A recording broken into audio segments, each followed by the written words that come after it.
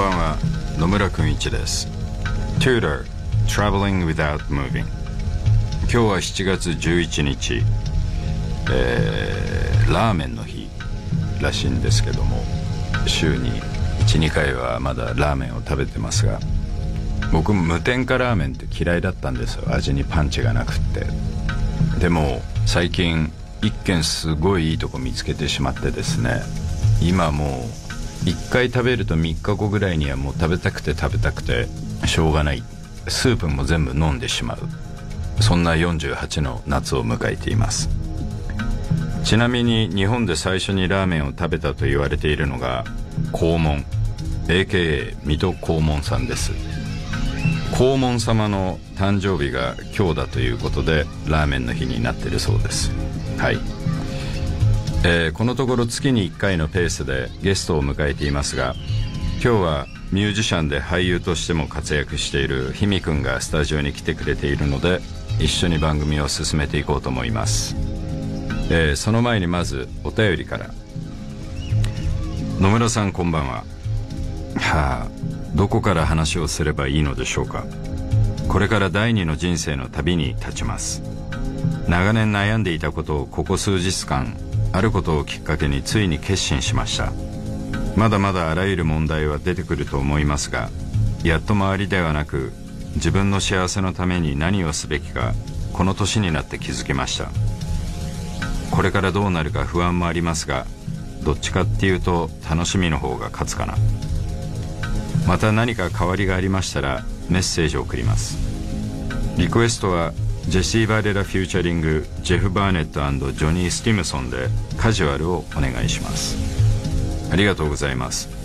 何かすごい大きな決断をしたんでしょうがそれについて何も書いていないのでものすごく気になってしまうんですけども。44歳とありますが、まあ、平均寿命まで生きれるとしたらほぼ半分まだ人生残ってるんでこっからガンガン第二の人生を突き進んでください。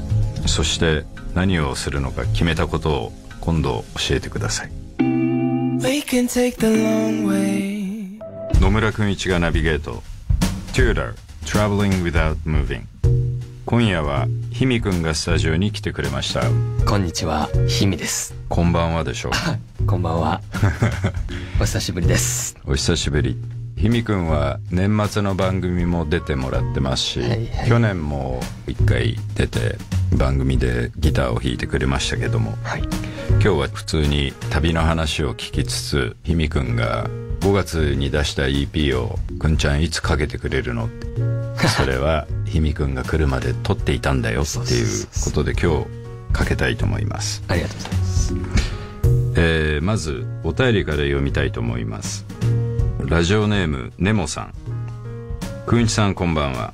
私は先日結婚4周年を迎え今年の9月に父親になる30代の男です。早くから子供が欲しいと思っていたのですが子宝に恵まれず夫婦で悩む時期を過ごしていました。そんな状況をポジティブに変換し2人だけの時間を満喫し小さな子供がいたら難しい旅をたくさんしてきました。このご時世でしばらく旅が難しくなったところで念願の子供を授かり子育てという新たな旅を始める見込みが立ち夫婦ともども嬉しい気持ちでいっぱいです。その一方で日に日に大きくなる妻のお腹を眺めながらコロナ禍で母子ともに健康に過ごす環境を提供できるだろうか。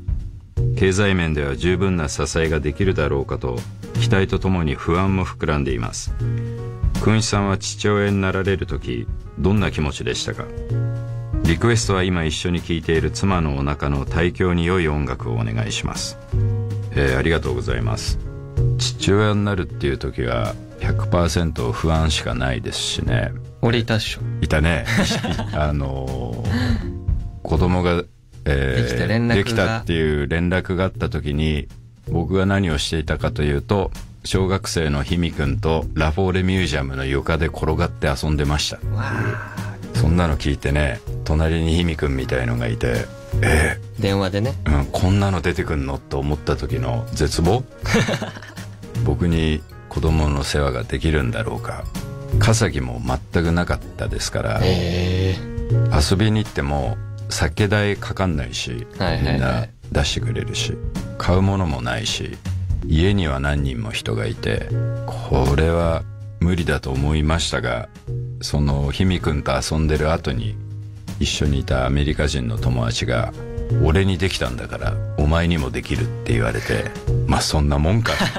計画したら絶対にできないと思うんですけど、うんそうなっちゃったらなんとかなるんですよ。いつかひみくんもそんな日が来るんでしょうかね。ね。そうすると俺おじいちゃん。おじいちゃんですね。それもなーって感じなんですがうん。胎教お腹の子供に聴かせる音楽っていうのはクラシックかける人とかもいるけれどまあちょっとビートがあったり明るい曲がいいなと思っていたところにひみくんの今日かけたい曲リストの中にブリジャンテス・デル・ボエロの「I Know That」があったので、これ知ってますか？うん、聞いたことあるよ。うん。クランビンのコンビニも最近入ったでしょそれで俺も見つけたんですよね。このリズムをお腹の中の子供に聞かせるっていうのはどうす思ごいドープな子が生まれそうだけど。う だそうです。はい。ぜひネモさん試してみてください。続きましてラジオネーム HG さん。くんいちさんこんばんは。今月末に大学時代に出会った友達とも家族とも違うとっても大切な子の誕生日があります。以前書いてくれた手紙を読み返そうともらった手紙を貯めている箱の中を探していましたするとそこの方から中学時代に社会を教えてくれていた先生の手紙を見つけ読みふけってしまいました。その先生との文通は中学卒業時から大学入学時の5年ほど続いていました。担任でもなく特に仲良くもなく社会を教えてくれる先生と生徒でした。今の私が考えても不思議な関係ですがあまり知らない間柄だったからこそ5年間もの間文通が途切れなかったんだと思います。最後の手紙は今から3年前の2018年。その手紙を読み返すと最後の方に電話番号とメールアドレスが書かれていたのでもう使われてないかもしれないと思いながらもメールを送ってみました。翌日バッチリ届いています。という件名の返信が届きました。メールを読み始めると一瞬で8年前に戻り懐かしくホッとするようなそんな感覚に包まれました。くんいちさんにも連絡を取ると心の奥がじわじわ温かくなるようなそんな関係の方はいますか？リクエストはマッガイアーズの「イージー」でお願いします。えありがとうございます。突然何年ぶりかに何事もなかったようにメールをしてくる友達たちがいて、まあ、そういうのを見るとほっこりするんですがひみくんもそういう人います？先生とか。あー先生はめっちゃいい先生がいたっすね。一人。どんな先生だその先生は俺がちょうど小6でうん。インターナショナルスクールにいきなり変わる時のうん。最初の先生だったんですけど、うん。高見沢さんっていう。うん。言っていいのかな？高見沢すごい先生見た目はもう外人みたいだけど日本人の先生で。それアルフィーの人じゃないよね。いや違うけど、うん。めちゃめちゃいい先生だったのその先生が。ギターも弾いてたし「Tears in Heaven」一緒に歌ったりしてた。いいねそういう先その生先生のおかげで俺はなんか英語も覚えたし優しくなった。優しくなった。まだ21年なのにね。でもその高見沢先生とはまだ。この前 Facebook で連絡したら「こういう曲今音楽やってるっす」っつったら「うん。あ音楽やってるんだ」って来てうん。普通にほっこりしましたけどね。久々それはほっこりするよね、Facebook とか普段ほとんど見ないんだけども、うん。そういう連絡途絶えた人を見つけるツールとしてはすごいよね。すごい。僕もテキサスの頃の友達と二十何年ぶりにいきなり向こうが見つけてきて、うん。覚えそう覚えてるかテキサスの高校で一緒だったぞって言われてもう一瞬で記憶がそっちに飛ぶよね。うん。そういうのね。うん。そういうのだけは SNS っていいなと思うんだけど。そういうのだけね。続きましてラジオネーム角材パーティーさん。くんいちさんこんばんは。子供の頃はドラゴンクエストなどのロールプレインゲームが好きでした。スタートしたばかりのまだレベル3くらいの頃最初に訪れた村の外れに鍵のかかった宝箱がありましたいつか鍵を手に入れた時に戻ってこようと思ってもゲームをクリアする頃は忘れています。中身はつまらない薬草かもしれないし道具屋で買えないレアなアイテムかもしれません。もしかしたらミミックという宝箱の形をしたお化けの可能性もあります。最近自分にそんな宝箱があったことを思い出しました。背伸びして読んでいた本やかっこつけて聞いていたジャズ。さらには知ったかぶりをして年上のお兄さんと話した話も覚えています。くんいちさんは今開けてみたい宝箱はありますか？リクエストはクレイロのブラウズでお願いします。えー、ありがとうございます。記憶の宝箱ってやつですが宝箱があるのは覚えてるんですけどそれが何なのかを忘れてしまいました。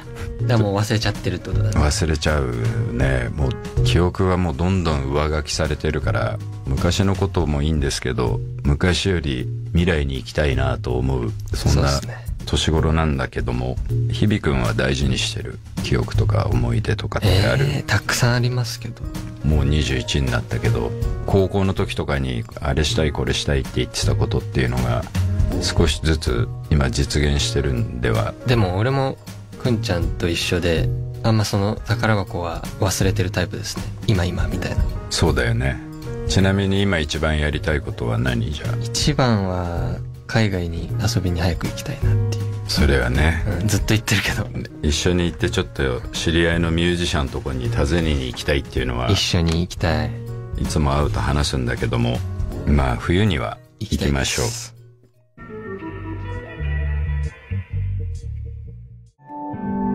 Tutor Traveling Without Moving. 今夜はミュージシャンで俳優のひみくんと一緒にお送りしています。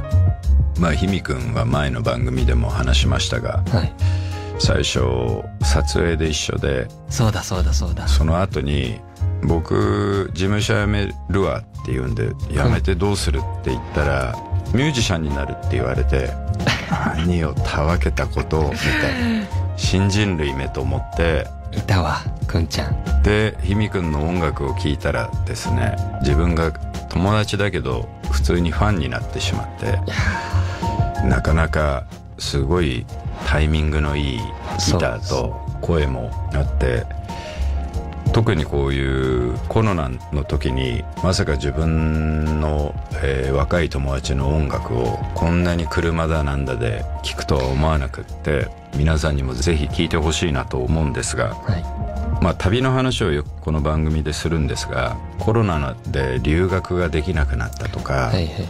そういう話がたくさんあってまあ果たして僕は留学した方がいいのかとか、そういう若い人のお便りをもらう中でちょっと今日ひみくんも高校の時はい。海外行ったでしょ？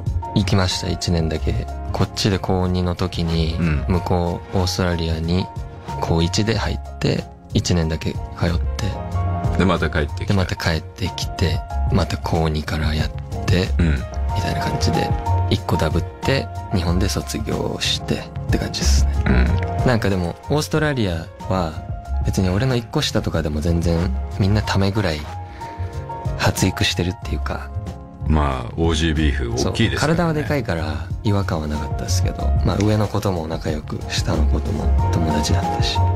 なんで高2の時に留学しようと思ったの？ちょうどインター行ってもう英語めっちゃ覚えてよし海外行こうって言ってた時だったんで、まあ、ななんでオーストラリアになったのかはちょっと謎なんですけど小6から高1までインター行インターって2からオーストラリア行ってえーでもそのインターにそもそも行ったのはまあ自分が決めたんじゃないか小学生の。最後は俺めっちゃ嫌がってて最初。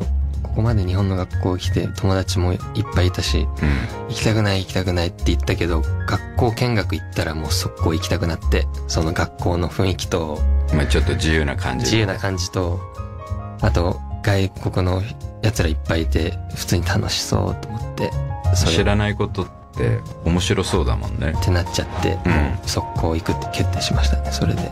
オーストラリアにその初めて学校行った時のはどんなだった？5年ぐらい前の話でしょ？そっか。そうだよもう僕はこのラジオを始めてる全然。もうとにかく友達作りまくろうって感じでしたなんかそういううまい技っていうか秘訣はあったの？最初いじられるなと思ったんで、うん。絶対に、うん。それをいい方向に持っていこうと思ってその最初が大事だなと思って、うん。いじられた時にうって黙り込むんじゃなくまあねあのー割と一回がノリに乗ってついていくみたいな。外人相手は割と突っ込まれたら突っ込み返す突みたいな。っ込み返さないともうそのままでなっちゃうからうん。と思って、って思ったらでも意外に普通にいい子いいやつでうんうんうん。それの問題もなく初日から友達できてなんかバンドとかもやって。あできたんだすぐ。そう。オーストラリアにいた時はどんな音楽を聴いてたの？この後かける。そうですね。この後かけるピンク・フロイドの「Wish You Were Here これめっちゃ聴いてた」これはもう完全に日本に彼女がいてここにいたらいいなっていうような。そうだね。その時も多分そんな感じだったと思うんですね。それで16歳の男の子がこの2000年代に オーストラリアで。家の裏がブッシュっていうかうんうん。木がめっちゃあってそこを俺毎日通って学校通ってたからそこの通う途中に聞いてましたね。ピンク・フロイド。かなりムーディーなティーンネイジャー。そうそう。オーストラリアっつったらじゃあピンク・フロイドが。記憶に残ってる。うん。ギターも一本持ってってそれ弾いてそんぐらいしか多分家でやることなかったからその時とかこれめっちゃ練習してたしでも旅行ってそうかもね、うん。僕も旅行してた時ギターとディジュリドゥを持っててね。でディジュリドゥをなかなか覚えられなくて難しい。あれむずいの？音は簡単なんだけどその循環呼吸って言って音を切らさずい1時間吹けたりするの吹ける人にこれどうやってやるのっていうとこう吐きながら吸う。吐きながら吸うの？そう。で簡単だって言うけど絶対にできない。無理じゃん。まあ要は口に溜めて腹式呼吸でお腹の空気をはこう吐き出してる時に鼻から息を吸う、えーそれできるんだ。できるの。だけどそのい旅行中じゃないとそんなにそんなものに時間かけないじゃない。そう砂漠かなんかにいる時にそのディジュリで持っててウォークマンの電池も何も全て切れちゃったなんかもうやることがなくて もう一日中ブルーってやってたらある日突然繋がったんでえそっからできるようになって、まあ、ギターもそうかも。ー、やっぱずっとやってる時間がないとそうなのこまごまよりもで飽きたって言って投げ出すんだけど、うん。結局他にやることがないからまたやる。またやるっていう。それで上手くなるよね。うん、だからなんか覚えたいものがあったら不自由な場所に旅行に行くっていうのがいいのかなって思うんだけども、ありですねそれは。あと他の曲で言うと夏なんでロニー・リストン・スミスの「サマーナイツ」をかけたい。これは何か思い出があるの？旅とか？これは確か LA に初めて行った時に、うんたまたま YouTube あさって流していいってなった曲でこうランダムに出てランダムに。うーん。面白い聴き方をしてるね。なんそう。か YouTube であさってやっぱジャケが可愛いやつを聞くっていうよくやるやつあるんですけど。昔のジャケ買いみでもさ YouTube のビデオってジャケじゃない時も結構、まあジャケじゃない時も多分あるから、うん。それは分かんないけどでもなんかパッて出てきてあ可愛いっていうのを聞いて、うん。いいなって思ったらスクショしてみたいなメモっとくっていう。それこれもそれしたね、LA どんなシチュエーションでこれは？車でちょうど夕日ですっげえ LA の夕日って綺麗じゃないですか。うん。その時にちょうどハイウェイ走ってた時にちょうど流した曲なんですけど、その時はでも全然ウィンターだったんですけど LA は、でもこれは夏だなと思ってたのね、うん、日がすごい太陽あったし。なんかそういう話聞いちゃうとまたやっぱりどっか行ってこの曲聴きたいなこういう場面でっていうのそう。はいろんなとこで聴きたいなっていう。サマーナイツそしてまあそう言うとひみくんが最近出したその EP のはい。一番のサマーチューンなのかなっていうのがはい。ダウンヒルダウンヒル。これは逆言うと日本のどこでどういうシチュエーションで作ったこれはスケボーする友達と俺とでよくダウンヒルって坂下るんですけどうちのちょうど横の坂があってうん。結構長めのそこ下ってる俺のその友達の MV 撮りてえなっていうなんか話してそれで作りましたね。ダウンヒル。ひみくんがすごいなと思ってんのはものすごいアイデアが尽きないっていうか多作だよね。そうそう割と。ひみくんと話してて「これいいね」ったら「いい」こういうのが聞きてえなって言ったら「うん」って言ったら 翌月とかになんかデモが送られてきたりしてそう。なんかすっごいなっていうやっぱそのビッっていうのを作りたいなっていうのは。しかもあの楽器も全部できるもんね。ダウンヒルも全部自分でやったの。やってます。だよね。アメリカとか行くと昔ねうん。そのひみくんとかみたいなスケボー好きで遊び行こうぜって言ってちょっとやんちゃな感じの子たちが友達ん家に別のとこ行ったらいきなりピアノがあるとポロポロ弾き出したり、ねドラム叩けたり、うん楽器はどんな格好の子でもいろんなジャンルの子がいてもすっごいクラシック弾けたりとか、そういう楽器ができるってすごくいいなと思ってて。いや本当に家に楽器があったおかげです、だよね、うん、日本なかった。は日本だったらそんな場所ないもん。ないしどうしても男の子ってバンド系みたいな人じゃないとやりづらいっていうそう続かないとかね、うん。もう家にあったから家で弾けたから上手くなれたけどそうね。でもあったものをちゃんと手出したから偉いなって思うんだけどじゃあここらで曲をかけたいと思います。お願いします。